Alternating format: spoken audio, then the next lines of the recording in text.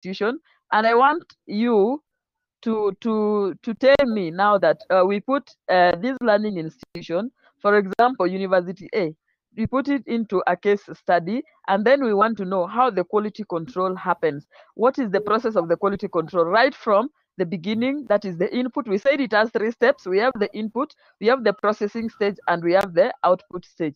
So so Humphrey, take us through now in the in in an, in an example of a learning institution. How can quality control be be done? Uh, quality control and inspection be done in such a kind of a scenario. Come up? Okay, okay. Yes. In an institution like ZTech University, hmm quality control can be done in like first the the institution has to has to has to know the performance of the, the students. So that is now the input stage. We are starting with the input stage. Now tell us this is the input stage, this is what is done, and then we go to the processing stage, say now this is the processing stage, this is what we expect to be done, and then the output, what is expected to be done. Okay, so in the input stage, this happens whereby uh, the institutions has to have all the all the admission numbers and admission information of the student, whereby they have to register to their system. So at the the output stages, whereby we start we start with the the product product inspections. So like in ZTech, this is done to ensure that with the student get their services fully. Yeah. Good, a good trial. Who can come up again and uh, assist him to from where he has left? Peter, Yeah. Yeah. you were not there in class last last week, but I've explained. I've given a, a, a brief explanation. Can you can you help him from where he has left? Mhm. Uh, You know that is a, a good example of a question that can come to to an uh, can come in your examination. So the the exam the NEC examinations uh, you keep in mind that NEC examinations are normally application they normally give application questions. So you should not expect direct questions that now say the processes of of quality control. You will be given a question that you will, you will need to think. So we are putting now scenarios, real real life scenarios, where now we want to see if you you guys really understand because these things we are learning, we are going to apply them in the, the field. You guys are going to apply them in the field. I told you uh, in future you're going to be contractors, you're going to to own companies, you're going to be managers uh, uh, in, in companies. So these things are very important to you because they are the things that will bring profit or the feedback uh, in the company. So uh, I'm still on that question. I want people to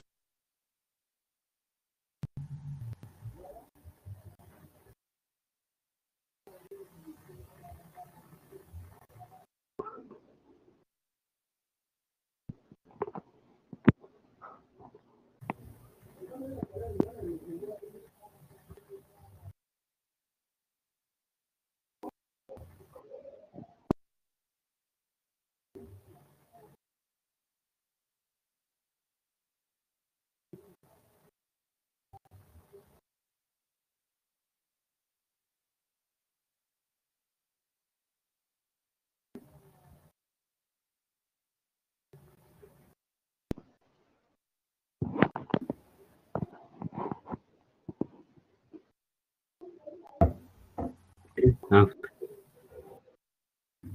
Mhm. Sawa. bado wanapotea Eh, network.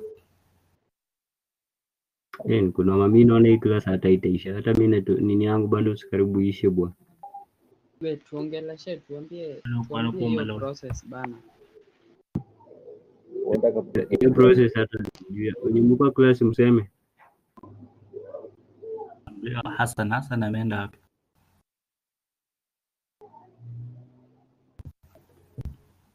Kwa kunanyesha akatoka kidogo. Ati? Sorry, sorry, sorry for that. My my machine just went off. I had forgotten to plug it to power, but it's now okay. So now, can somebody now uh, pick from where I had left and then explain that? I want a proper explanation for that scenario. Somebody who can chip in and explain before I explain.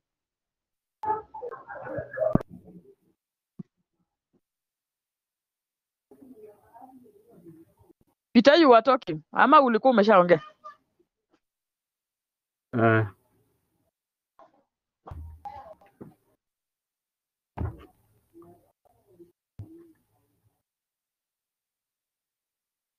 Yes? Or someone can help you. Salad.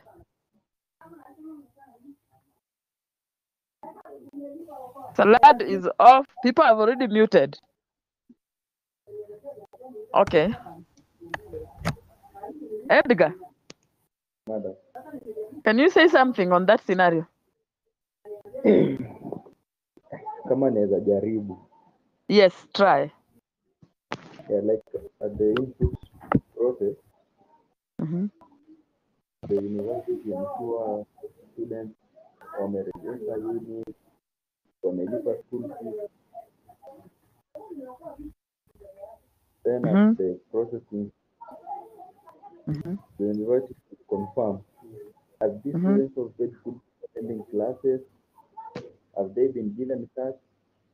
hmm lecturers wameattend class wame wamewapatia nini knowledge enough hmm at output stage hmm is where the the learner from the to the field the knowledge that we gain from the institution. hmm Yeah. Okay, that is a good trial. Now let me uh, explain what exactly needs to happen in such a scenario. You know, that is a real life scenario that needs to have quality control. So, the, uh, before you even discuss any question of that kind, the the thing that you need to ask yourself, the, the, the question that needs to linger into your mind is ask yourself one thing. Uh, what is the product that I need in this case? what is my product before you know your product you cannot know how to control the quality so let us mute our mics so that i explain that. Yes uh, uh, now in this uh, in this scenario where we are talking about a learning institution our product is the skills that we have imparted on the students. The, the skills that the, the students have gained is the product that we need. We need uh, the, the students to be marketable we need the students to, to move out there and be self-dependent. To be able to, de- to depend their, themselves be innovators and even create employments. So they, they have to go through a process. And this process they have to go through has to be uh, we have to make sure that uh, uh, as, as quality control meaning quality has to be made sure that it is maintained. So at the input stage. Now the process we have said the process normally has three stages. That is the input the processing and the output stage.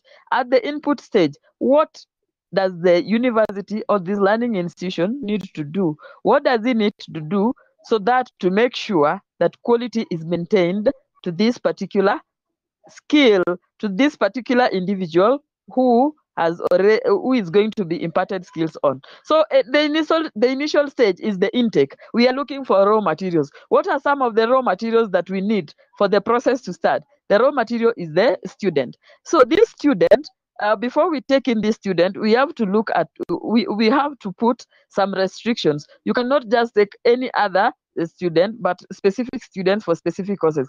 Now for instance take for example a student going to join electrical engineering. There are there, there are things called cluster points or marks or grades that have to be achieved. There are some basic requirements and cutoff points that are needed for this person to be able to access that course. So that is one of the measures, that is one of the things or the standards that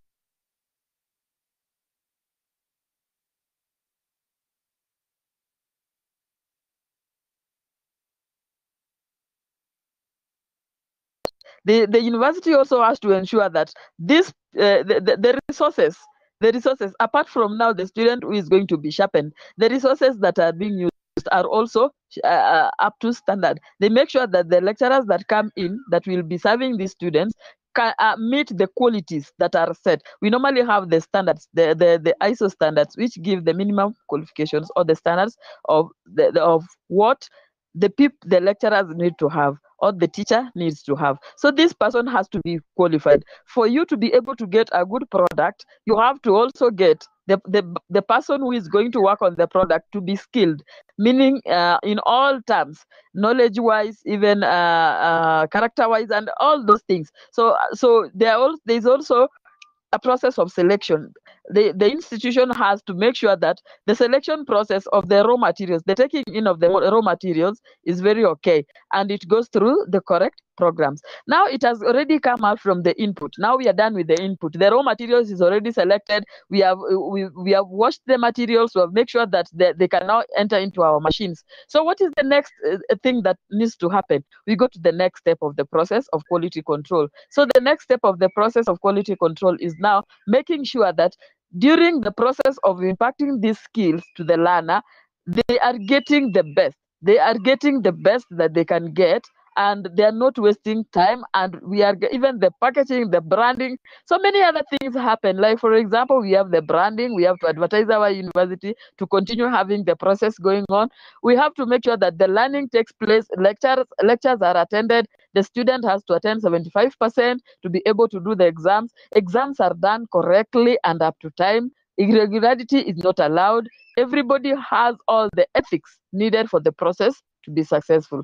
Now we are done with the process. We have already processed. We have baked our cake. The student is ready as the skills now want to get out. Now that is the output.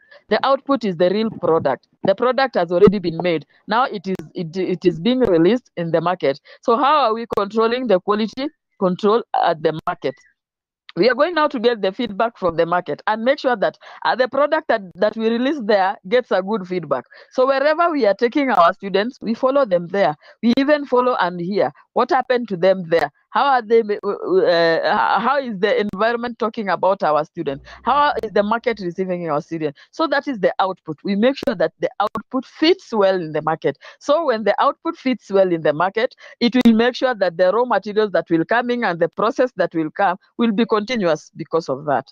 So I've guys understood what i've explained. Yes. you've gotten that Yes. Yes. So now let us go to today's uh, uh, lesson.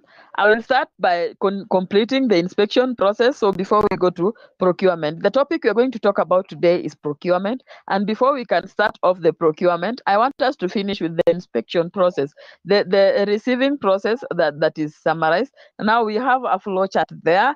Uh, the flowchart there is is explaining how depart the departments are maintaining the inspection and quality of a product that is being processed. So this phase of purchasing cycle involves the physical uh, uh, transmission of purpose of purchase requirements. This should be a fairly routine, although not necessarily the most efficient part of purchasing cycle. So some organizations transmit orders electronically, whereas others send materials releases through the email or via, via fax. So receive, receiving process summarized. So the process begins with the vendor and ends with the delivery of the product. Aha. Now follow the arrows of the sequence to see now the receiving process. Now we are almost done with the inspection. Now we want to see the in, in the, the, the benefits. So you can see the process. Now, for example, we see the receiving department, you receive, and then the product goes through there. That it comes from the vendor product, then the receiving department, and then they, do- they do the packaging. Then this is now the, the almost the last stage of the processing, the last stage of the processing, so that it, the output can go to the market. So we go to the benefits of inspection and uh, accreditation. One of the benefits of inspection or quality control is to minimize the risk. Throughout the world today, business and businesses and customers seek assurance that the product, materials, or services they produce or purchase meet their expectations or conform to specific requirements. This often means that the items are inspected to determine their characteristics against a standard or a specification. For the manufacturer or supplier, choosing a technically competent inspection body minimizes the risk of producing or supplying a faulty product. So, uh, if you want to minimize the risk of supplying a product that does not meet the quality, inspection has to be done. So instead of waiting a product to reach the market and then it comes back, we have to make sure that the product, the inspection is done to minimize the, any risk of the product being rejected from the market. Another benefit of inspection is to avoid expensive or avoid expensive reinspection. You can imagine you've taken uh, uh, canters of cartons of milk or of any product that, that you are taking to the market. You've already done the transportation cost. They have reached the supermarkets. They have reached the wholesale shops. They are now under distribution. Now your product has already reached the market and then it gets rejected. So what do you do? You have to take it back. Now, like for example, what happened to the maize flour? You remember the companies that were told to withdraw their maize from the shelves. These are the, the, the, the when the KEBS realized that some of these maize uh, maize flours packaged uh, con- contained some aflatoxin. So you know that is very expensive. If, for instance, these people had done inspection properly, in the, in the processing stage before they could release it to the market then they could not undergo the expensive reinspection. You can imagine you have to take your products back that is another double cost of transportation. Then you have to hire more people because already the product is produced in mass or in bulk. You have to take it back for inspection and sometimes even destroy. So it is a very expensive process. So inspection products and materials can be expensive and time consuming. So if the quality of the inspection is poor, the consequences can be expensive as well as need for reinspection. So if a product has failed to meet specifications or consumer expectations, it may lead to product recalls. It means the product can be recalled, like the way I've said, some maize were being recalled from the market. Now, the next uh, uh, rework, uh, litigation, and reimbursement. Now, like uh, uh, people maybe who had bought those, those those packets of flour can say that I want back my money because the product did not meet my demands. So reinspection is required. If reinspection is required, it is invariably damaging to the reputation of the supplier or the ma manufacturer too. So choosing a technically competent inspection body minimizes the chance of additional inspection being required. So when we do an ins quality inspection for our products, we are avoiding or we are barring the uh, we are avoiding the step of doing reinspection. Number one, it might uh, uh, spoil the reputation of the supplier or even the company. So sometimes companies whose maize flours were recalled, a customer may never want to buy it again because the trust to the product normally goes away. So we need to be very careful when we are dealing with the market.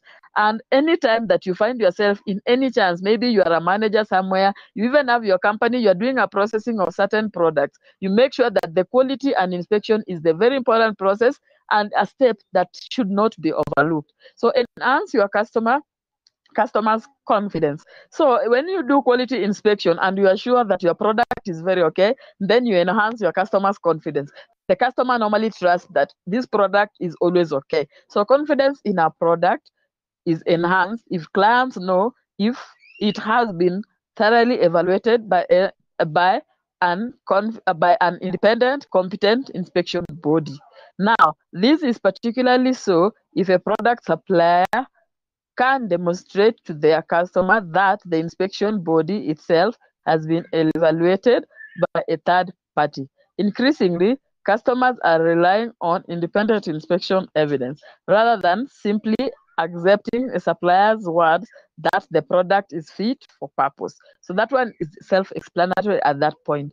So then another point is reducing the cost and improve acceptance of goods we improve the cost under under reduce the cost and improve acceptance of goods internationally. How do we do, do this? Now, through the KENAS inspection, uh, the the, uh, the inspection accreditation, technically competent accredited inspection bodies receive international recognition, which allows their inspection reports to be more readily accepted in their in other economies. So this uh, this recognition helps reduce costs for manufacturers and exporters by reducing or eliminating the need of additional inspection in the importing economy. So, key documents used in inspection. Number one, we have the material packaging slip. Um, a material packaging slip, which is a supplier, which the supplier provides, details uh, details the contents of the shipment, that is of the goods that are being supplied. Then it contains the description of the quantity of the items in the shipment. It also refers to the specific purchase order and materials release, number of tracking, and the auditing and the auditing purposes. So a packaging slip is a critical document when receiving materials at a buyer's facility. So receiving clerk uses this packaging slip to compare that the supplier packaging slip uh, uh, quantity against the actual physical receipt quantity. So these these are normally called the delivery notes. The, the, the, the notes that normally come when the delivery notes has come, the, the, the, the receiver or the person receiving has to accept that I received the actual uh, the actual things that are noted in the slip. So another thing is the billing the uh, bill bill of lading.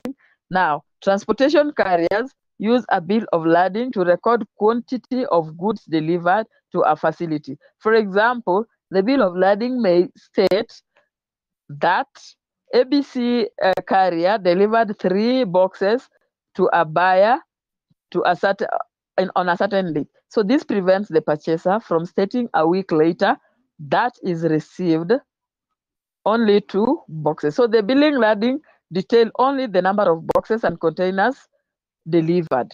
So the detailing and actual contents of each container in the supplier's responsibility. That information appears on the packing slip. So these are some of the documents that are accompanied when inspection has already been done. So we have another document which is the receiving we have the receiving discrepancy report. So the rece- receiving discrepancy report normally comes in when maybe the, the, the, the, the quantity of the materials or the quality of the materials being uh, supplied or received does not match or does not rhyme what is written to have been delivered. Like now, for example, if you buy your product from from like now, especially this online marketing flat platforms. These online platforms that they sell things like electronics all other stuff. We have so many uh, organizations these days that sell their products online. So assume you've ordered your product and then you've received your product. Then you receive a product that you didn't order or receive a less quantity of what you ordered.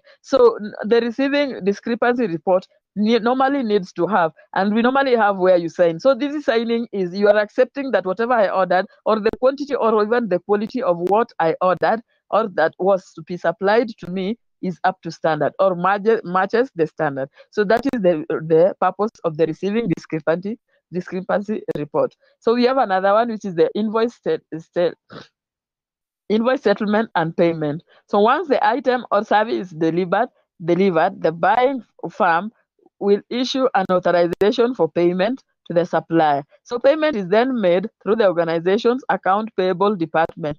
This is increasingly being accomplished through electronic means. So suppliers are more often being paid through electronic funds, that is transfer, that is the ETF, electronic funds transfer, which is an automatic transfer of payment from the buyer's bank account to the supplier's bank account. More and more organizations are moving to integrated system, which all purchases, orders, receipts, and payments are made electronically. Documents used uh, for issuing in a, a inventory stock. So the these documents we will look at them later when we'll be talking about purchasing. So up to that point, unmute your mic so that we finish on inspection and quality and all that I've added today before we can start now on purchasing. I want to hear from you what we have had.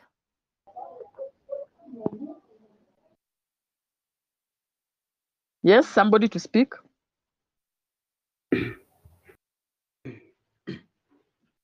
Kasheru, you have Yeah, not spoken today.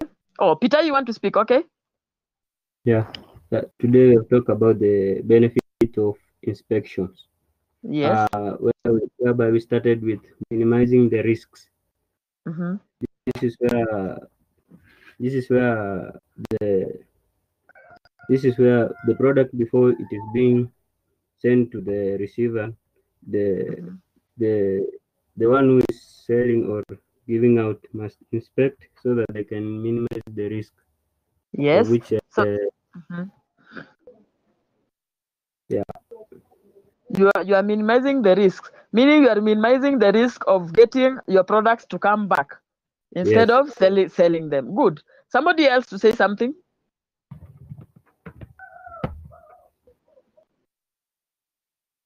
To avoid the expense of re-insuring. Yes.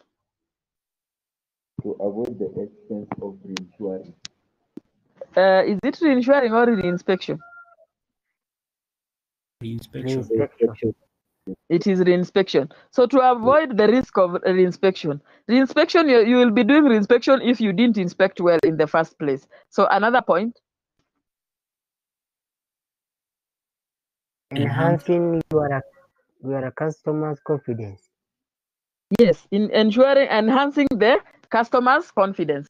So, for example, uh, what which company normal uh, can do you have confidence on buying things for electrical installation? You normally have companies and suppliers and people who make who manufacture electrical installation equipment. Like now, for example, we have the sockets, the bulbs, the cables. So, which company is normally reputable and normally has a name in selling best products? Philips, Philips, Philips. Another one. What about Another one. Powermax? Powermax, yeah. Uh-huh. What about East African cables? Hager, yes, Hager, Hager. Hager. Yes, yeah, Hager. Those are some of the companies. They said sometimes, you know, companies get too much confidence on customers and they start selling the names, so they become very expensive in their products. So uh, when you are a supplier or you are manufacturing a product, uh, make sure that uh, you don't get more confidence and start selling the you are selling the name of instead of now selling your product you put the prices very high because you think that even if i put the prices very high the customer will still buy already so uh if you don't have uh, do we have any question on that part we are we are done now with quality control and inspection salah did you get any questions from the past papers I will see later. oh you've not gotten them yet Yeah. Okay. Now I want us to move to the next uh, subtopic. When you look at the course outline, I said we start with quality control, and then the next thing will be moving to procurement. Then we will go to purchasing, and then we will go to tendering, and then see if we can come back to what shall have remained. So today, again, I want us to talk about procurement. So before I say anything, um, I've even given you a slide there that I was not supposed to give you before you talk. Now, somebody give me some. Uh, procurement is a common name for people. Uh, pro, what is to procure? What is procurement? I want people to give me some some ideas of procurement. When you hear about procurement, what comes to your mind? Anyone can talk. There's somebody who keeping a record or a storekeeper, like that. Mm-hmm. Salad, Salad is saying that uh, somebody doing procurement is a storekeeper, somebody who keeps records. Is that true?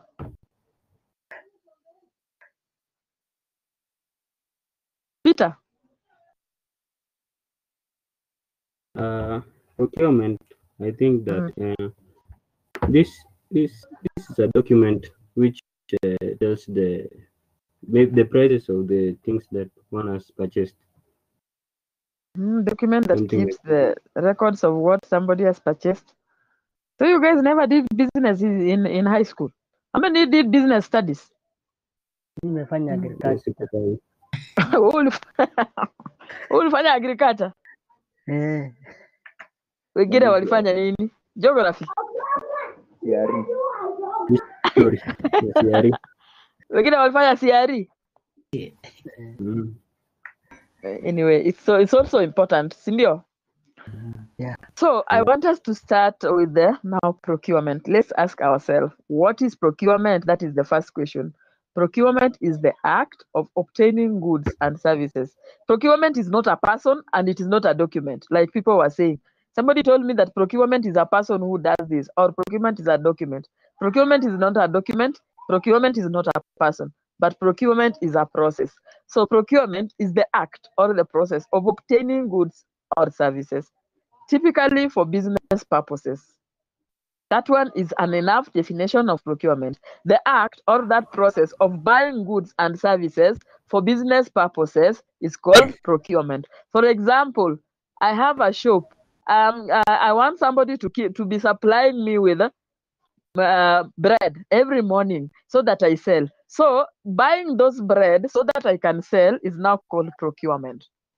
I have a, a, a, a, college or an institution. I want uh, Wi-Fi uh, distribution to my, or I have a cyber. I need uh, Safaricom to be supplying me with bundles or some data connection. So the moment I pay for those services that I need, then that is procurement. It is all about buying goods, purchasing or obtaining goods or services so that they can help one in continuing the business. So procurement is most commonly associated with businesses because companies need to solicit services or purchase goods usually on a relatively large scale. If you have a company, you will need to buy these goods in large scale, meaning you cannot buy one loaf of bread and then a customer buys and then you go and uh, buy another one and then a customer buys or you cannot buy like uh, uh, i have a cyber I'm, I'm doing photocopy work i cannot say i'm going to buy uh, 10 pieces of printing papers and then i print i finish then i get no you buy things in bulk so that you can even get this process so because we need to buy these things in bulk we need to procure these things in bulk we call it procurement because uh, in most cases, the services are not even paid immediately. We, we, we buy, I sell, I even reach the middle. We, we agree on the terms of payments. Terms of payments are not mandatorily that they have to be immediately. So I go to the next, uh, read there. Procurement generally refers to the final act of purchasing, but it can also include the procurement process overall, which can be critically important for companies leading up to their final purchasing decision.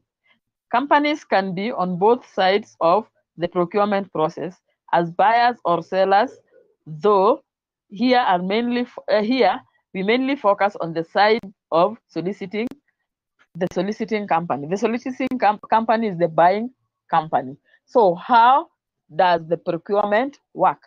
We need to understand how the procurement works before we can go to any other thing in procurement. So this is how it works. Procurement and procurement processes can require a substantial substantial portion of a company's resources to manage. Like now, procurement budgets typically provide managers with a specific a specific value they can spend to procure the goods or services they need. The process of procurement is often, is often a key part of company's strategy because the ability to purchase certain materials or services can determine their operations will be profitable. So in many cases, procurement processes will be will will be dedicated to company standards, often centralized or by controls from the accounts, payable divisions, or accounting. So procurement process includes the preparation and the process of of a demand as well as the end receipt and approval of payment. Uh, so comprehensively, it, it can involve purchase planning, standard specification, determination, supplier research, selection, financing, price negotiation, and inventory control. So such as such, many large companies may require support from a few different areas of a company for successful procurement. So uh, we have people called chief pro- procurement uh, officers who normally assist companies to go through the procurement process. So you have some companies may even choose to hire chief procurement officer to lead this effort.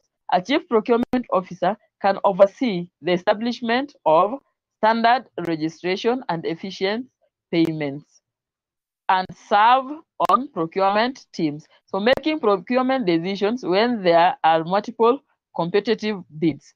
Overall procurement costs will be integrated into a financial accounting for a business as procurement involves acquiring goods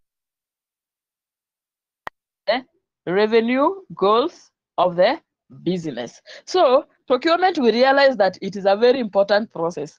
Without this process, sometimes the company can go to a loss. So what does the procurement officer need to do? The procurement officer has a lot of ta tasks to perform, has a lot of things to do by making sure that all the records are put, by making sure that they know in advance of the prices of the services or the goods that are to be purchased so that they can communicate to the administration and the finance section to get the funds in advance or even to pay back to suppliers who have already supplied services, who have supplied services or even the funds.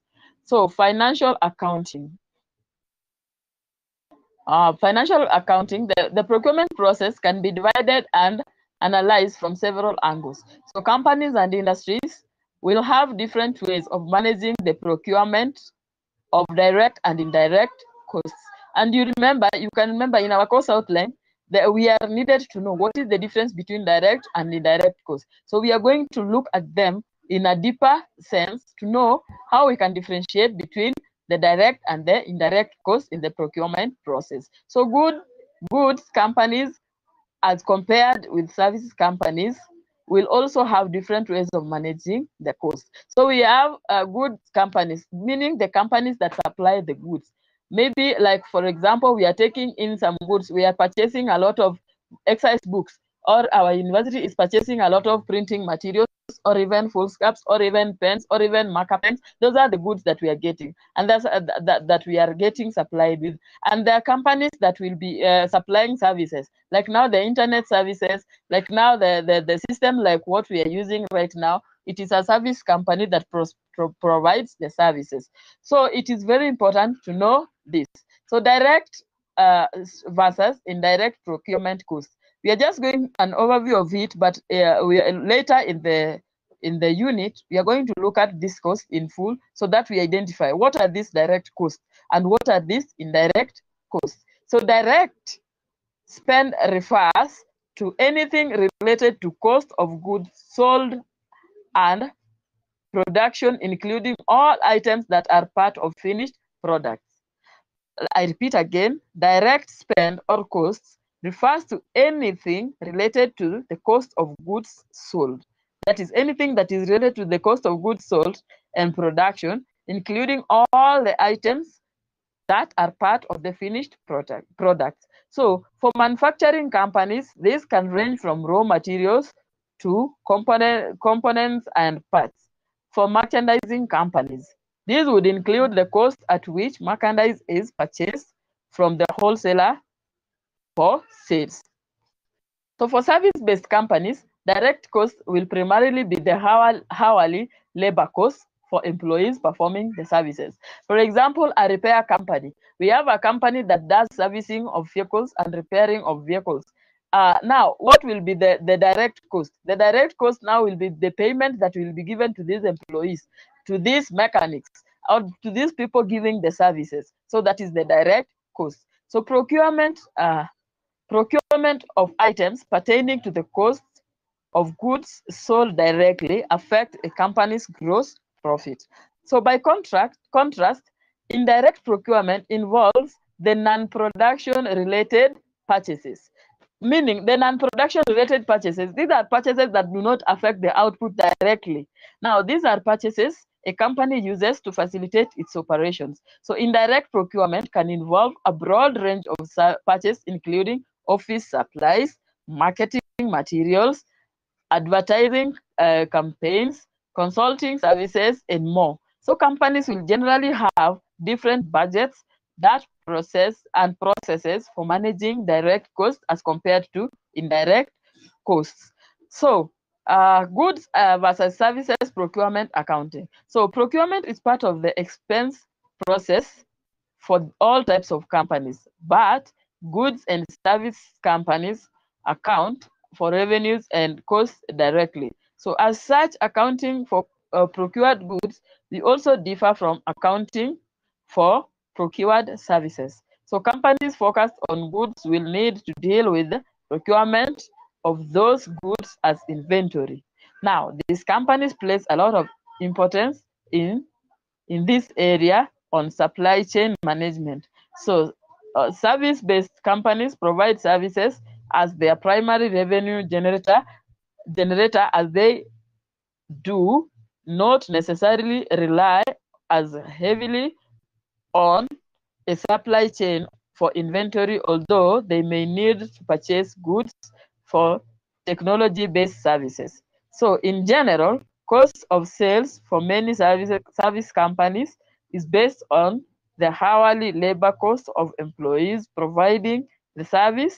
So procurement is a direct expense.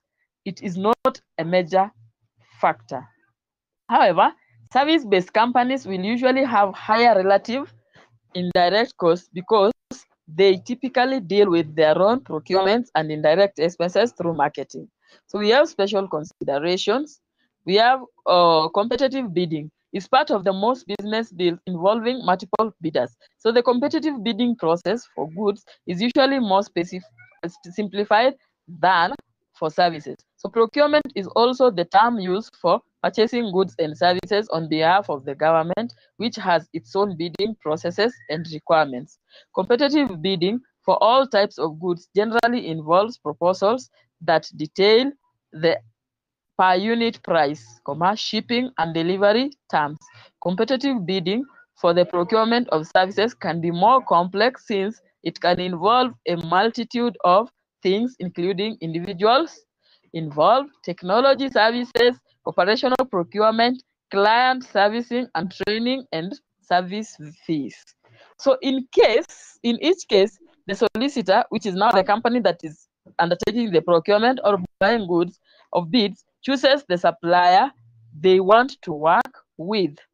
Now, based on both operational business aspects as well as the cost. So the solicitor is then responsible for the accounting for expenses depending on the goods or services agreed to. So that is uh, about uh, an introductory part.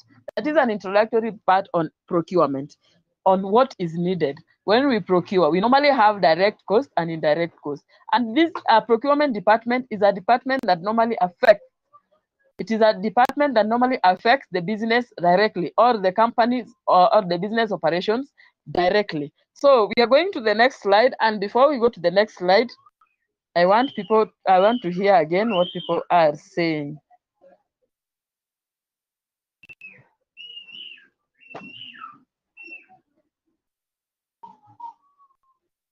I want to hear from you. Kasheru. Anthony. Yes. You've not spoken today. Uh, we have talked about procurement and we have said that procurement is a process. And this process, it is a process that is involved with buying and buying of goods and services that are needed in the company. So, uh, why do you think do we uh, is uh, you as electrical engineering students? Why do you need to learn about procurement? Why why do you think is it important for you to learn?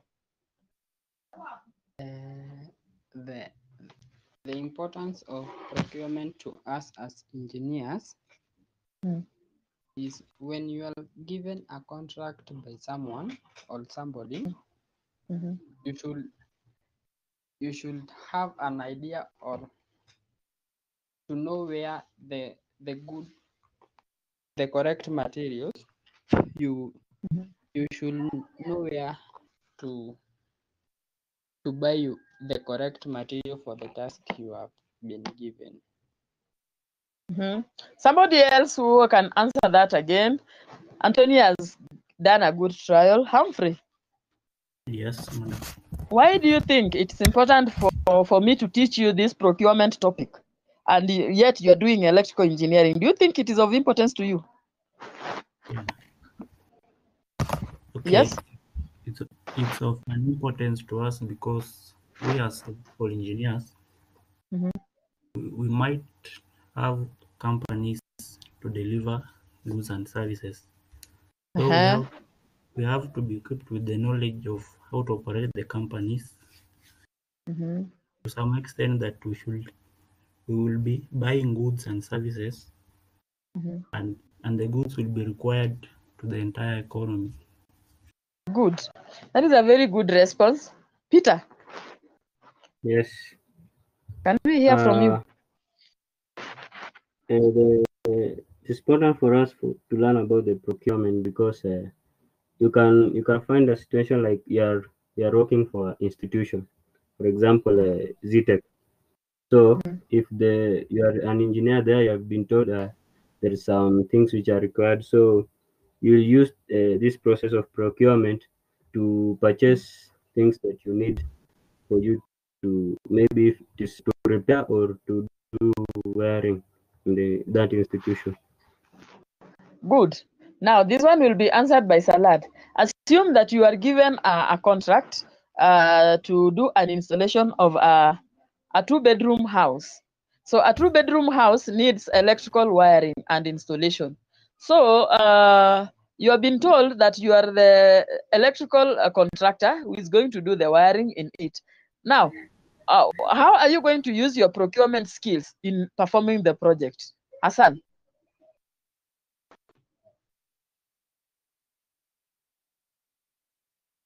Tell us how you use Yeah. the procurement skills that we have gone through to know that how to manage the product, the project.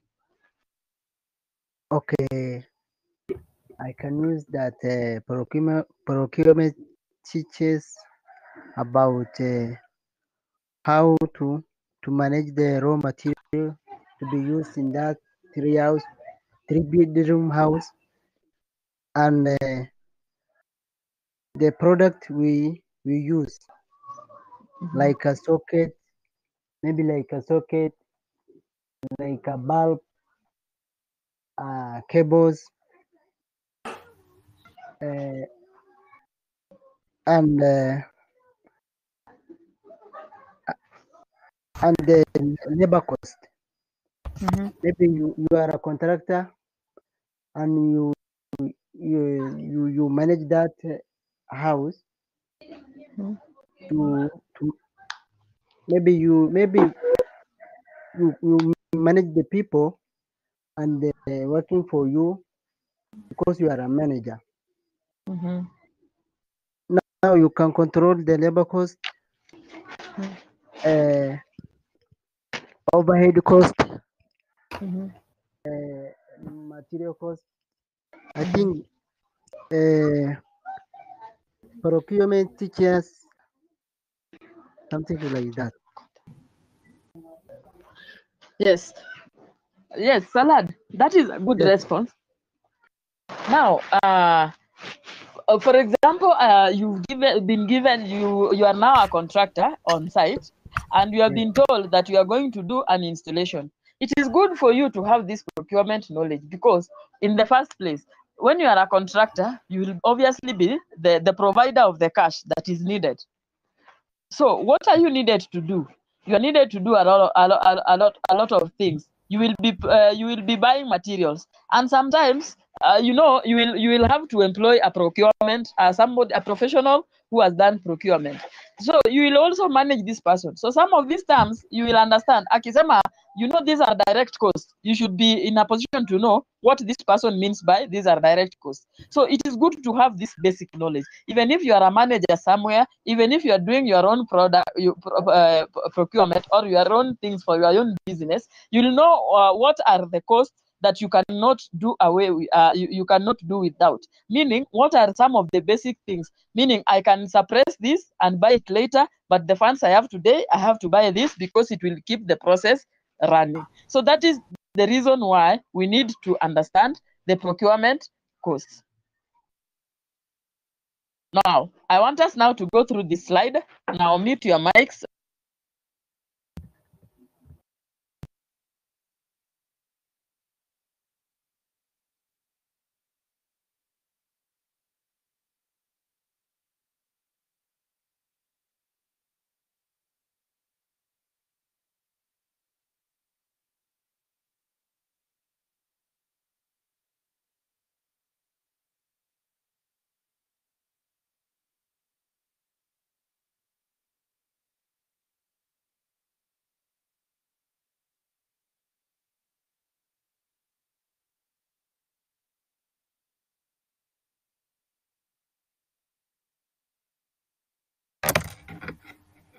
kwenye mada wameenda eh, network yake nikaa inasumbua. Anakuja ha? Anakuja, kuweni labda amezunguka huo vipi? labda.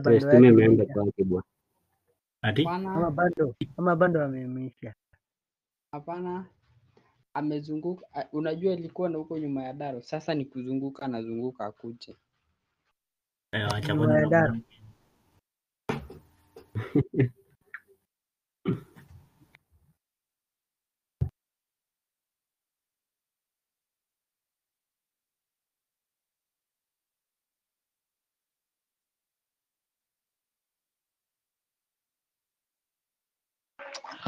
Sorry, I've had challenges again. I think the system has some problems today. But okay, let's proceed. So I wanted to take you through I wanted to take you through this slide so that we can understand what is there. So uh, some of the, the, the requirements or some of the things that go on in our public procurement uh, or the stages in public procurement. So this is a, a, a- a sample of uh, somebody or an overview of public procurement process of what goes on in the public procurements. As used in public procurement is the process of setting aside a certain percentage of a, or quota in government institutions for members of the society who could be disadvantaged or underprivileged, underprivileged in a certain way. So this is a good example of what some of the situations. So reservation is governed by constitutional laws, statutory laws, and the local rules and regulations. So reservation policies under the coast have a major objective of ensuring the level that is leveling playing field. So the public procurement is normally put in place so that it can make sure that all members of the public enjoy what the government can offer. You will realize that anytime a government, uh, the, the government institutions, either counties, the national government, even the public hospitals, public universities, public schools, when they make any advertisement on a procurement process, they normally put uh, privilege or, or, or they take advantage and uh, give uh, privilege to the these people who are normally uh, less uh, less advantaged. Like now, for example, you might get a, an advert that says that uh, uh, the youth and the people with disability and even the the, the women are encouraged to apply. Meaning, when uh, sometimes they can even restrict an advert and say this one is only for the youth and this one is only for the people with, with, with uh, people with disability so they normally do this so that they can bring the balancing that is normally a law in kenya the, the regulation that allows procurement uh, procurement in the government sector to be able to be able to manage and level and, and level up the citizens of the country. So the preference in reservation we normally have shall apply when soliciting tenders that is from small enterprises, micro enterprises, disadvantaged group and citizen contractors. And that's where you realize that uh, uh, normally when there's a government procurement or things that are to be supplied by the government to the government, they normally uh, say that anybody who is employed by the government or is employed by the Public Service Commission cannot participate in the procurement process or cannot even be uh, uh, be given the contract of supplying a product. So these are some of the rules that are normally laid down and normally come with the procurement processes. So now, like local contractors or citizen contractors in joint with ventures can can be able to supply the goods. So in order of the targeting of the groups must be registered by the Ministry of Finance under the, the Regulation 6 and will enjoy the benefits for a period of five years, which is renewed once. So for the purpose of ensuring maximum participation of disadvantaged groups, small and micro enterprises in public procurement, the, the, the PE may, in, may unbundle or the, the public pro- procurement uh, uh, department may unbundle goods, works, and services in practicable quantities uh, pursuant for the section. It's normally in the law, and uh, and youths are encouraged. And you you you uh, being one of the people who lie in these groups, we are normally encouraged, and we are told that when you are you want to start this pub, uh, the participating in the normally gives opportunities to the youth because they know the youth don't have this cash.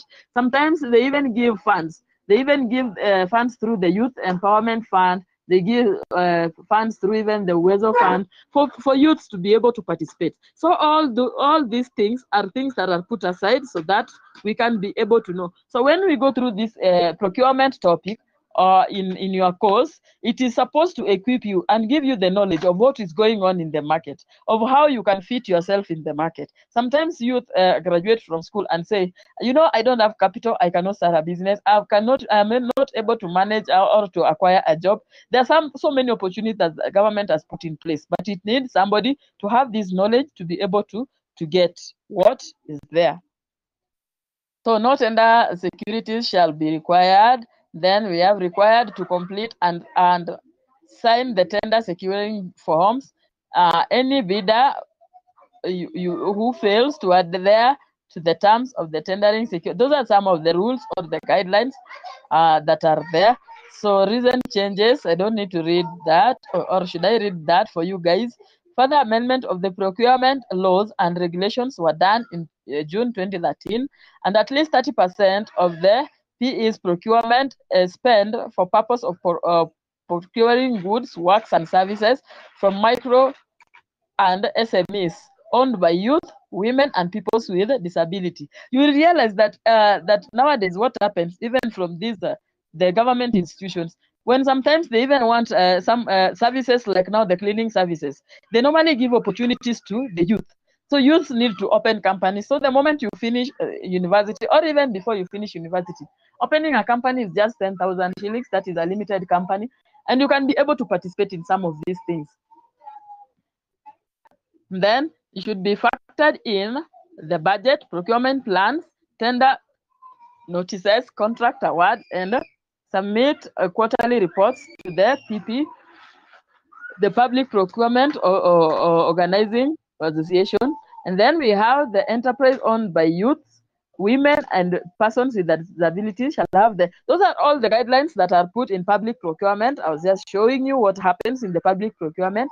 Then has at least 70% me- me- membership of uh, youth, women, and persons with disability. So for you to be able to get this this uh, procurement uh, tenders, you should have companies that have at least 70% members of that organization having members to be youth or women or even people with disability. Because the government realized that, realized that these are the people who are vulnerable and they are normally disadvantaged in most cases. They normally don't get even these procure the government jobs easily. So prompt payments for perform for performed contracts shall not delay beyond 30 days. And then where the delay is inevitable the APE shall make at least 30 percent 30 percent part payment and shall give a written explanation for the delay. So those are some of the things that underlie there. So the public procurement process. So we are here at last. So this is uh, the process. So when, when we go through the public procurement process, then we have already gone to the standard process that is normally allowed for any procurement process. So the first thing is procurement is the process which creates, manage, manages, and fulfills contracts. So it relates to provision of supplies, uh, services, engineering and construction works, and hiring of anything like disposals, acquisition of or granting of any rights and concessions. Procurement is a succession of locally related actions. Procurement activities commence once the need is identified and end when the transaction is over. So that those are some of the requirements that we need there. So we have a diagram there to show the process and the system. Now, like for example, we start with a need, a need, a triggers in the procurement process, then the methods, pro, uh, uh, procedures, op- uh, operational policy. And then we have the provision of work, services, and supplies concludes the procurement process. And then the principal activities that are related there is we establish what is to be procured. That is the first. Now, this is the the, the, steps of now doing the procurement process. Step number one is to establish what is to be procured. Sometimes you'll find yourself in in a in a, a, a company that you you are in an, a procurement panel. So you need to know the steps that you need to go through, and even you have your own even your own your own company, and you need to procure something. So you need to know all that you need to do, and then decide on procurement strategy. So after now getting uh, to know what you want to buy, so you need to ask yourself, uh, how am I going to buy it? So you get the strategies. Then solicit a tender, tender offers. So you go for tender offers and look for those uh, the, the, the, correct ones. Then evaluate tender offers, award contract, evaluate tender offers after people have already applied for the tenders. Then award the contract. Then administer contracts and confirm compliance with requirements. So after you have already awarded tenders to the to, to the groups or to, to a person who is to supply the goods or the services, then you go ahead to administer, meaning you make sure that all is fulfilled and all that was expected is done. Types of uh, public procurement systems we have number one, we have centralized approach. This is one of the types of the procurement system, centralized approach. Uh, here, the central tender, a board or or similar organizations oversee the procurement, evaluate tenders, and award contracts. That is the, the, the that is the type one of the types of the system. The other one is perspective approach. In the perspective perspective approach, legalization and uh, associated regulations detail procedures to be followed. So financial instructions, minimum requirements relating in expenditure and auditing are established. So framework approach, in framework approach, we have the legislation establishes high, high level requirements and levels it leaves it to institutions to provide the detail. So those are the types of approaches or the systems.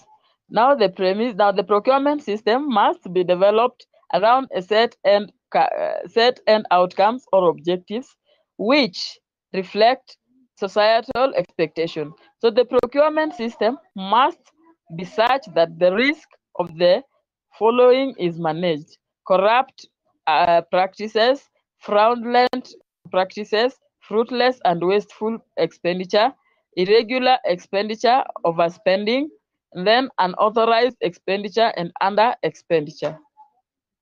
You can see it there.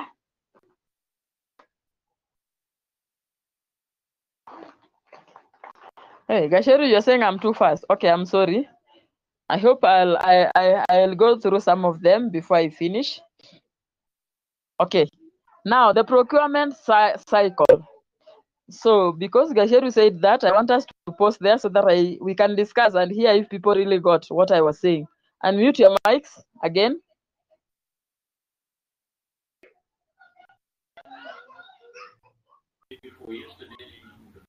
Humphrey. Humphrey, Yes, madam. it seems I've been too fast. Did people understand anything on the process and the of, of procurement and what is needed? Yeah. Uh, can you say something? Okay. You started by reservation, Hmm. whereby you say that it's it's governed by constitutional laws and regulations, Mhm. and then we went further to look at the public procurement process. Mhm. This creates and manage fulfill this creates, manages, and fulfills contracts. Mhm. And and then we looked at the components of procurement, whereby it's being associated with the establish what is to be procured and and and, and evolution of tenders. Yes. Yeah. Uh, that is a good trial. We have also talked about the procurement process. Can somebody remind me on what we talked about in the procurement process? Somebody who got something from there.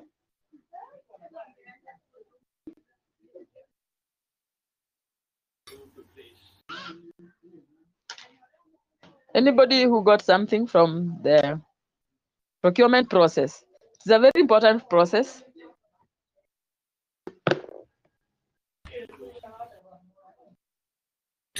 Wainaina, Yes. ulipata kitu hapo? Hapo ndo nilian- nilianza kupotea hapo.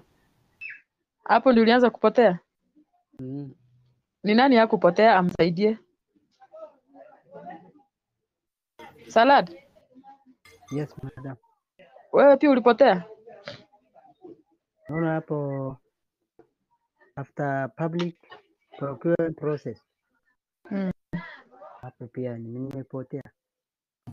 Sasa hakuna mtu ameshika kitu, so wacha tupitie hiyo procurement process, ndio hii. Wacha let me zoom out so that we can uh, the principal activities associated with the procurement process. Is everybody seeing the screen? Yes. Yes. We are seeing the Yes. Good. I'm now reading. that There are six basic steps. The first step is establish what is to be procured. That is the first step. And I said establishing what is to procure to be procured is you don't just buy things because of buying. You have to mm. establish, and that is why we learned about the direct costs. Mute your mics. Yes. And that is why we, we started by learning about the costs. We normally have costs associated with this procurement. We have direct cost and the indirect cost. Direct costs are these costs that affect the, the product uh, directly. So if we cannot uh, establish what to be to be bought and we buy anything without any order, then we'll realize that we might even uh, we, we might buy what we don't need, and when we we need these important things, we might even not get that the finance that is needed for this procurement. Okay, and then the next step is decide uh, we decide on procurement strategies. There are different strategies that are supposed to be uh, used or there's different uh, strategies that are put in place. So when we are doing this procurement we have to decide what are these strategies uh, strategies that we want to put in place. So that is now uh, which one uh, we have to choose which one. And the next slide was looking at the systems. Which kind of strategy do we want to use? Then solicit tender offers we we try to put the tender offers. By now advertising the tenders and we, we had talked about the tendering process in estimation and tendering. We create a tender we uh, uh, through all these processes we advertise it and give it to the public.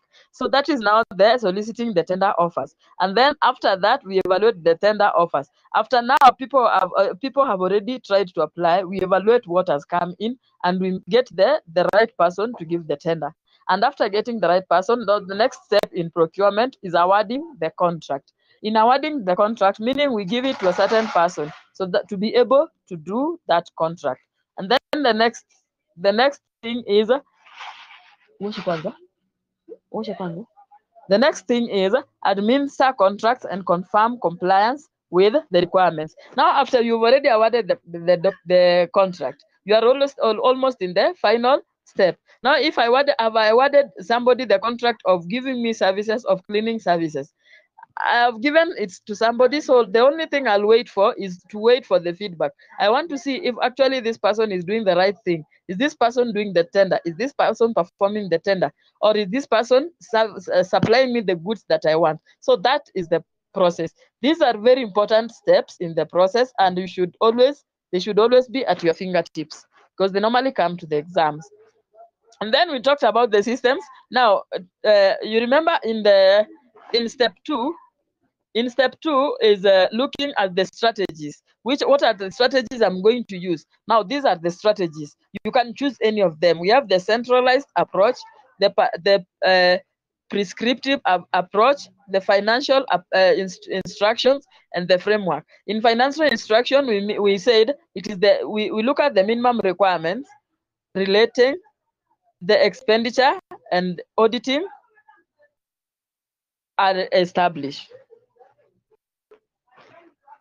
And then the premise, uh, the, the premise now, here we were at this point where now the public procurement system must be developed around a set of the end outcomes and objectives which reflect the societal expectations. So the procurement system must be such that the risk of the following is managed meaning we have to manage the risk of corrupt practices. Like we, we, we, we realize from what we normally hear in the news whatever is affecting the corruption that we have in the country it all comes from procurement. All the sections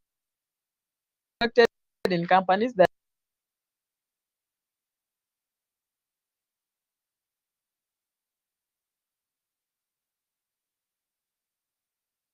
can can uh, coincide or, or or agree with the financial guys. And uh, after agreeing with the financial guys they might even tell this financial guy that uh, i want to procure uh, may write even uh, we have already bought uh, 500 uh, packets or boxes of, of milk for for for tea but uh, in the real sense what is received is uh, 200 packets. So the 300 packets written there will just the cash will just be shared among the, the, the two guys yet the things will not be procured. So there are normally a lot of uh, uh, corruption practices fraudness uh, fraudness that takes place in the procurement. So we have also fruitless and wasteful expenditure. And that is what we said about now looking at the cost. What are some of these costs that are not very important in the process? Uh, and this one will take us back to the quality control and inspection of the process uh, we will look at what is not important and do away with it and make sure that we are using or we are utilizing our funds on very important things. And we also have irregular expenditure. We have it has also to be put in control that irregular expenditure is not very healthy for an organization. So expenditure should be done uh, according to the demand. So maybe a strategy should be put uh, in place so that uh, specific uh, expenditures and uh, regular times and unspecific times are put for expenditures. And when the finance is available. So there is also uh, it should also affect overspending. Overspending is also another thing that can affect the organization. Another thing is unauthorized expenditure. So unauthorized expenditure meaning there, there's some, something normally in, in organizations called petty cash. There is normally a, a, a tendency to do an uh, over expenditure or unauthorized expenditure. Sometimes uh, things that are, are not documented down, you say this is a small thing. Like now I'm buying, maybe I'm paying for the bills and I don't document down. These are called the unauthorized expenditure, which can affect the procurement process. And another one is the under expenditure. Now, uh, spending, uh, uh, trying to minimize the funds so that you spend a lot. Sometimes you can constrain the procurement process, and it can, it can not be successful. So the procurement cycle is there. Uh huh. So, uh, before we go to the procurement cycle, before we go to the procurement cycle, I want again to, uh, I want us to enter into a discussion again. And I want to hear what people are telling me about the procurement process. Remember, I repeated on the procurement process, and you see now we have said that there are some of the things that need to be managed during the procurement process. So, uh, can people respond to at least what we can get? What have we gotten about the process of procurement? How, what, what, what is this that makes this procurement as a whole very delicate uh, department or uh, part in the in any organizational activities. Can i hear from you guys? Unmute your mic so that we can at least hear from you. Somebody to talk without pointing to somebody? Yes, madam. yes. Okay, procurement process uh, first you should uh, establish what is to be pro- prosecuted. Hassan, it is procured. yeah? Hassan, Yeah. ama ni network ndio mbaya. Eh, eh, nimesema tu hivyo labda umenisikia Eh, sawa sawa, endelea basi. Uh, second is uh, decided on procurement strategy. hmm You decide on the strategy, meaning what is the strategy that we are going to use. And I've already given you the strategies. Uh-huh. Okay, Another one. uh,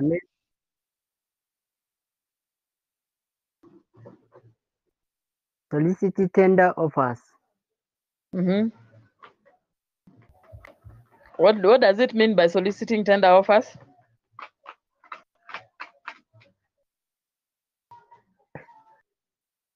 Ambia mtu akusaidie kama umelemewa. Choose somebody. Choose anybody there. Endga, endga.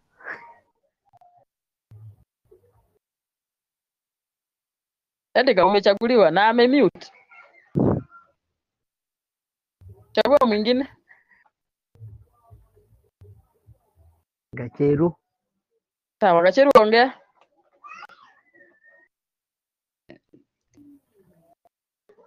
The license tender offer. Mm. This is where where a person anatafuta mtu wa kufanya hiyo task. Mhm. Mtu wa kufanya hiyo task, are you sure? Anata, an, an, a tender, tendering, giving the tender offers, meaning you want to advertise. Si ndio? It is the whole process that you are uh, you you want to get. Yeah, you want to get the right person who can supply the goods or the services that you need. Yes. Uh huh. Evaluation of the tender offer. Mm-hmm. The next is award, awarding of contract. Mm-hmm. eh, na admi- administer contract and confirm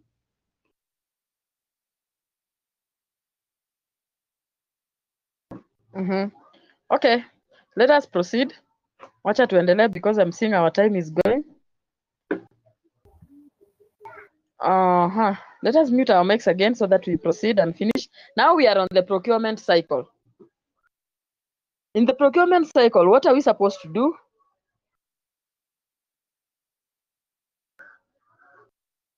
We identify, it is an identification of the need. Now we are already, it's, it's also part of the procurement process. We identify the need and then plan the scope, timing, fund, and resources. Because a procurement process is something that is normally, recy- uh, normally recycles, it goes in a circle it is something that normally recurs.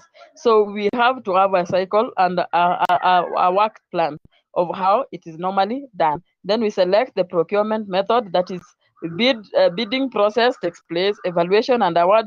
It is all more over the same as the, the procurement process.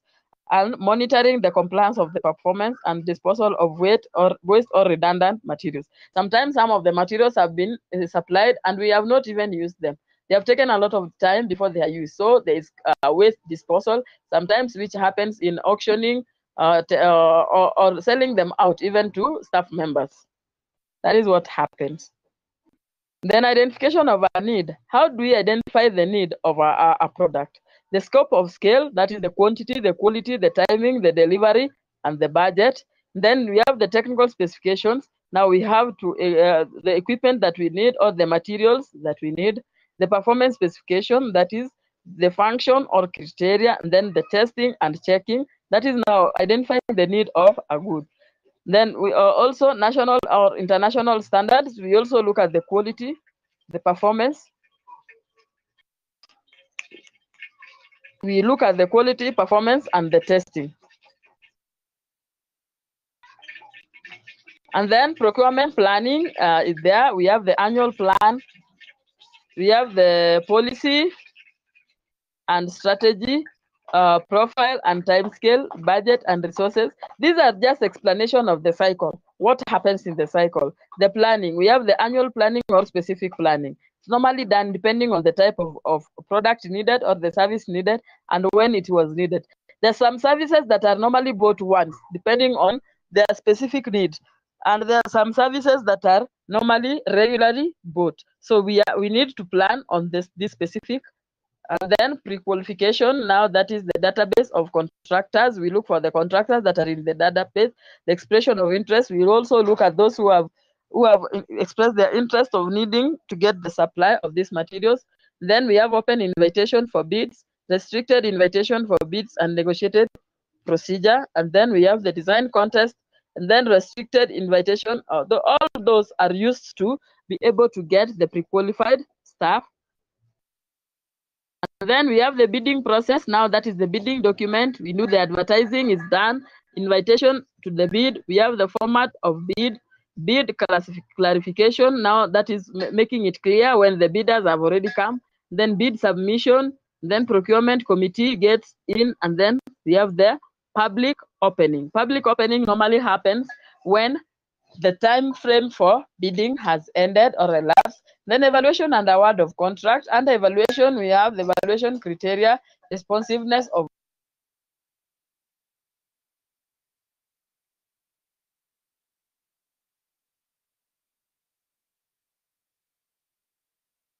explanation of uh, what happens in the tendering process. So up to that point, uh, we have uh, we have touched mostly on what happens in the tendering process. We have the contract award is there, contract management is there.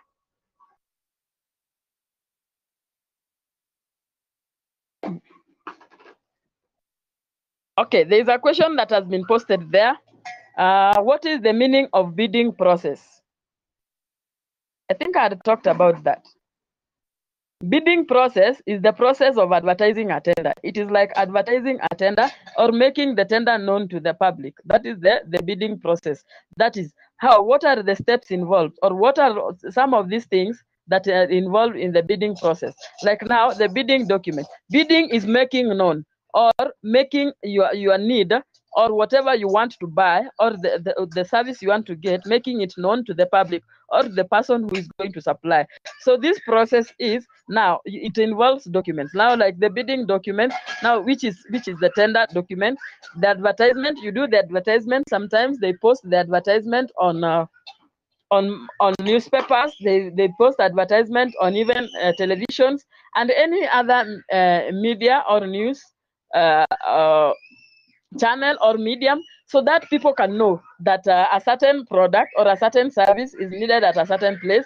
So that is the bidding process making it known to the public that a service is needed by a certain organization. And then we have the format of bid is there. We have the bid clarification is there. We have the bid submission procurement committee. All these are the things that involve the bidding. They are the things that involve the bidding process Hope that one is clear. Now we have the contract. The contract uh, bidding process has already done, meaning you have evaluated. Now we are evaluating. We want to know. We evaluate the, the evaluation criteria, that is responsiveness of the bid. We want to know who are these people who responded, who responded to the bid, who, who have given their tenders, who, are, who, who have uh, responded to the offer. Now we have the technical evaluation where we look at the requirements. If these people uh, meet the standards, maybe they, they have experience, they have the qualifications that we need. The financial evaluation, what are the people quoting? Who is quoting the highest? Who is quoting the lowest? And what is this person offering? So that is now the financial evaluation. Now we have the comparison of bids. Now, when all other people have bid, bid is another name of a tender. It is just another name that is used in procurement for tendering. For, con for con contracts, we normally use tenders, but a bid is, is a, a, common term that is used for procurement guys. So that is why you can see the name bid repeating itself now and again.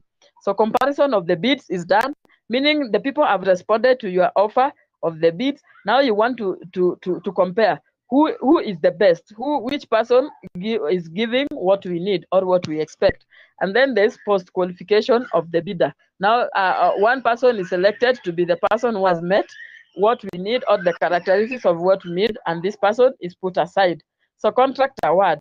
Once uh, the, the, the, the committee has realized that this person has already been pre-qualified, then it is the person is awarded the contract. Recommendation is done and the authorities sign and then they not they notify the successful bidder. Meaning after the signing, uh, the, the successful bidder is notified and told that you won. So come and uh, let us make the the the agreements. So we we we give the terms and conditions, the budget, the managing, uh, how it will be managed, what are the risks, what are the do's, and what are the don'ts that are needed. So all these things are put in place so that uh, the contract can finally take place well. So we have now the contract management after it has been awarded. We are managing the contract. That is, we have the contract manager who will be there to oversee the contract. Uh, like, for example, if it is in procurement, a procurement officer can be the contract manager. We have the risk management of if the products are supplied when they are damaged, there has to be a risk management. What will happen? Who will cater for the cost? Is it the supplier or the person receiving? What if we, we get uh, uh, products that uh, we don't order? What are we going to do? So all those are about risk management. Managing relationships, also the rules have to be set, put in place so that all the parties understand what will uh, follow them if they don't do as required.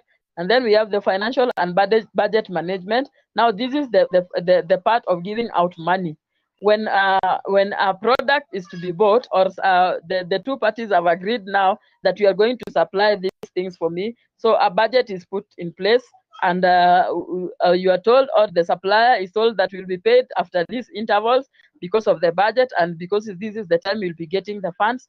So it is normally controlled and then we have the contract review. And then now the management process is is is there you can see it now. We have the, the, the way it was the man, contract management. We have the contract review financial and bud- budget management then the managing relationships then the risk management. You can see that that uh, flow chart. Then monitoring process. Now the monitoring process is the final process. This is now where we have to see if it, there is compliance. Compliance is uh, uh, uh, doing what you agreed to do if you agree that you will be supplying me two, two boxes of milk every wednesday now i'm monitoring if actually you are doing the way we agreed and also the process also involves if i will be paying the way i agreed to pay. So that is a compliance. Compliance is agreeing to do or doing what you had agreed to done. So it has legal framework where we have to sign documents. Documents are signed and the authorities have to sign uh, including the highest level of authority because the people have to authorize the supply of the product then the system and procedures then the performance we have the benchmarks uh, we now know uh, we now uh, we, we do the benchmarking and now the, the product that uh, uh, that has already been supplied or the service that has already been supplied we make sure that uh, in the benchmarking we now people go to the ground that is now the institution that is getting or is utilizing the, what was supplied to know if actually whatever was supplied is meeting the needs or it has value for the money that was was being paid and also if it achieves the objectives. If if it was supplying printing papers or marker pens are these marker pens really serving the purpose that they were supposed or they are faulty or is this serving the is it serving the value of the money that was given? So disposal is the last uh, part which is the identification of the obsolete or, or, or obsolescent materials and then valuation of the stock authorization system and then method of disposal and then revenue and write off sometimes some of these things are supplied and they even uh, uh, take uh, reach a point where they're, they're not going to be used again because maybe there was an oversupply or maybe some miscalculations in the process. So in the disposal so uh, what happens is in the disposal of these substances what happens is uh, uh, they, they are being uh, uh, released to the environment. They can either be released by buying or even some sometimes awarding people. Uh-huh. So we have areas of potential weaknesses. Those ones I leave you guys to read. Strategic procurement model. This one you'll also. What is procurement? We have already said that. Uh-huh. Public procurement. So you can see that this is a very important document for you guys. So yeah, you uh, I've already posted it in your notes. Procurement objectives. Why do we need procurement? Is to enhance pro- professionalism so that we may, we may do things according to profession. Competitiveness. the value of money so that uh, you make sure that the value of money is done. Fairness is also done. Uh, it is done openly so that uh, fairness can be put in place. We have ethical approach and accountability and effectiveness and efficiency. The professionalism is explained there and transparency is there. So all these things are very important for you. How uh, do we uh, achieve value of money? That is, that's the value of money for money is a critical measure of the effectiveness of procurement process and outputs. So achieving the value for money requires a strategic and integrated approach to the procurement. Accountability is there also. Competitiveness and fairness. Those, these are the, the, the objectives that are being explained. What is the ethical approach? So all these things, you're going to go through them. Um, want us to, to reach certain things that I want us to look at.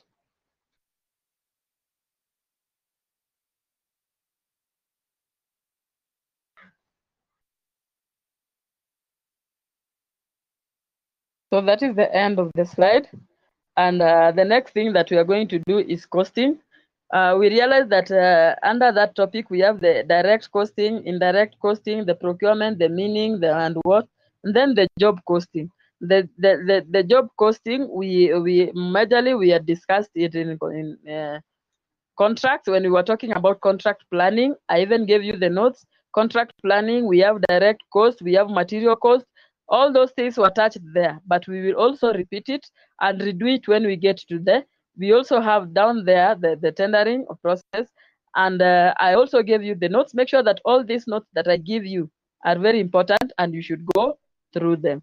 So up to that point, I want to hear from you guys. I want to hear questions. I want to hear comments. I want to to assess if people really got something on this procurement topic before we can end the lesson. Any questions? So you unmute your mic so that we have a small discussion before we can break.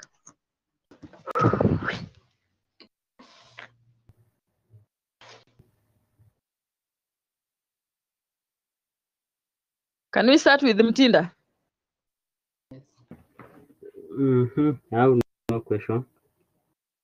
Are you comfortable with uh, what we have gone through this afternoon? Yes. Yes. Oh, so if you don't have a question, give a comment then.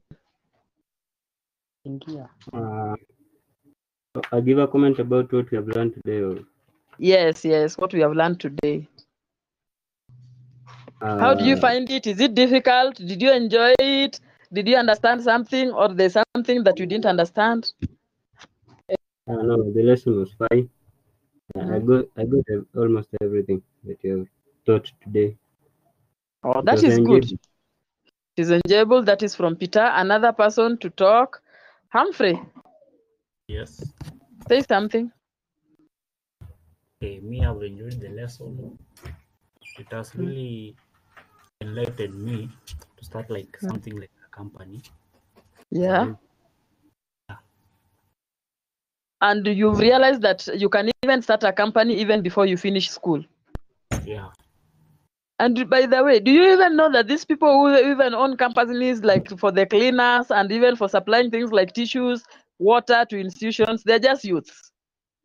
Yeah, most of them are youth. Most of them are youths. And you guys, you should, uh, sometimes, some people even uh, use these uh, opportunities to even get funds to educate them, themselves. So we can, we, we, you can even ask for maybe uh, people to assist you maybe with funds to start with a company. Starting a company is very easy, the first step. I think we will go through them. Let me not talk about it today. It is the last topic in workshop organization. Starting a company just needs a few requirements. So we are going to go through all those stages, and by the end of this uh, unit, we'll be able to know how to start a company and how to make our own money. So good, Humphrey. So anybody else, uh, Gacheru? Yes.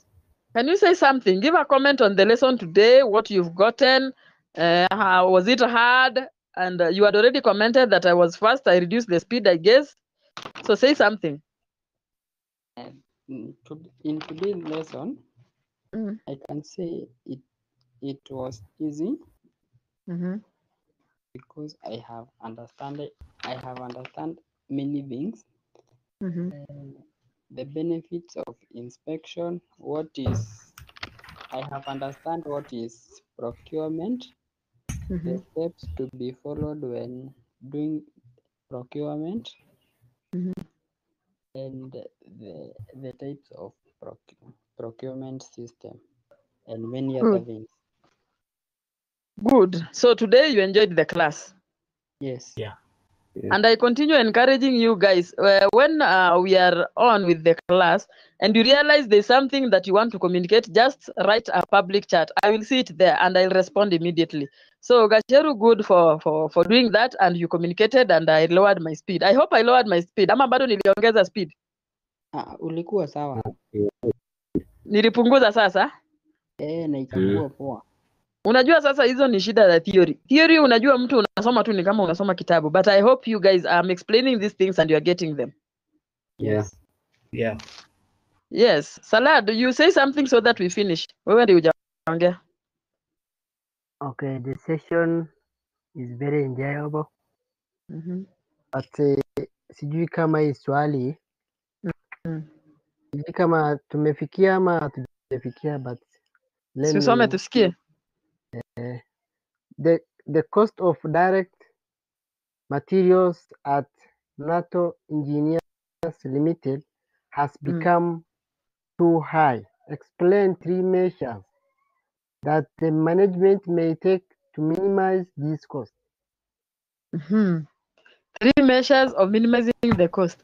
I'm going to mm. deal with the, the cost calculations at the beginning of the next lesson, but at least you can answer something. You can have a clue. Kutoka kwa kenye tumesoma leo, si mtu unaweza kuwa na clue. Though we have not done the calculations of the cost and the things that we can do to reduce the cost. Somebody can, you can have an idea. What can you do if the cost of production, you say the cost of production, The cost of direct materials. The, the cost of direct material. So those people are asking like the direct costs have gone too high, isn't it? Yes.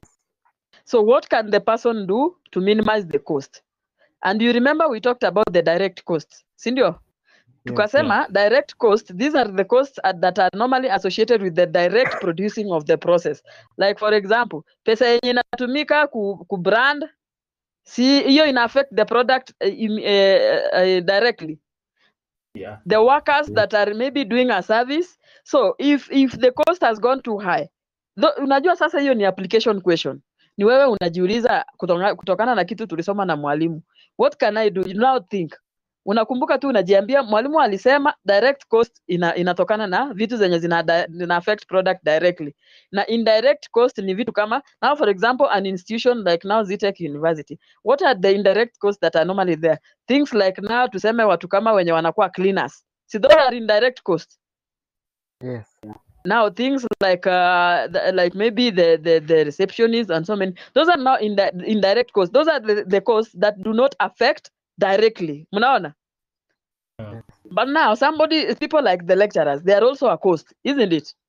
But they are called direct cost they are direct because they affect the output directly. Sindio yeah. so ukikuja upate kama direct cost imeraise sana inamaanisha the output in, iko affected. Maybe the quality sio mzuri so market sio mzuri. So whatever that can make the direct cost kukua high so that one ni high is because the output maybe what the product you are, pro, you are producing is not get, reaching the market well or the process is slow. So what can you do? You can even minimize the, the, the, the amount of work uh, workers sindio or the staff. You but you cannot you cannot do away with the direct cost but you can reduce isn't it? Yes, to reduce direct expense. Yes do reduce the direct expense? How can you reduce the direct expense? Like for example kama huwa unafanya tuseme una transport wanafunzi kutoka kwao kuja shule na na saa hiyo unaweza ukawacha uambie mkwe mnakuja peke yenu. Are you seeing such a case? Yes so those are some of the things that can be done to make sure that you lower the direct costs. Is that okay? Yes. yes swali lingine tena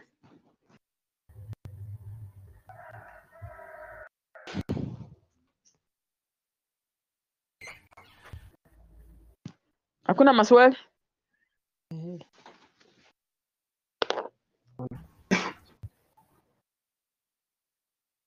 are people okay Yeah. Yeah. For me, I'm okay. Gasheru is okay Humphrey is okay Peter is okay Salad are you okay Yes, yes. can we end the lesson ama bado mnataka tuendelee Yeah, we end there. Uh, we can end it there. So I'm ending the lesson and I'm wishing you a nice weekend and you keep yourself safe so that we meet again next week. Okay. Okay, bye. Bye.